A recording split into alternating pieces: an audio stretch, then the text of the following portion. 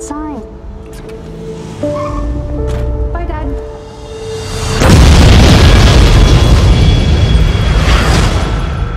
An explosion rocked the city today. Twenty thousand pounds for the names of the bombers. That's not how we do things here. Hello? Mr. Hennessy, he's here again. That's five days in a row now. What does he want? His daughter was killed in the bombing.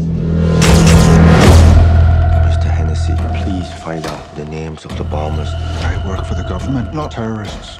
You used to work for them. I don't know who the bombers are. I don't believe in you.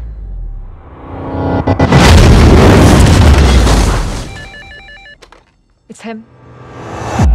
You would tell me the names of the bombers. They kill me on Tuesday, He's trained.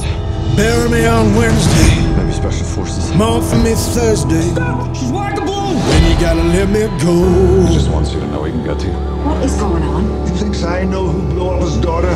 Do you? Then you gotta let me go. Somebody say a prayer for me. If They kill me on Friday, Half the city looking for him. bury me on Sunday, mourn for me Monday. Then you gotta let me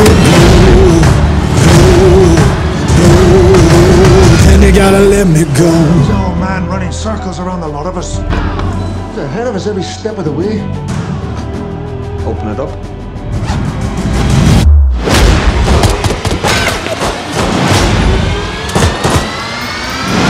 Speak the truth, even if they crucify me. Uh, No idea who you're dealing with. where those prophets that touch a leg, won't they touch a soul? Somebody say a prayer for me. Yes, I do. Do you?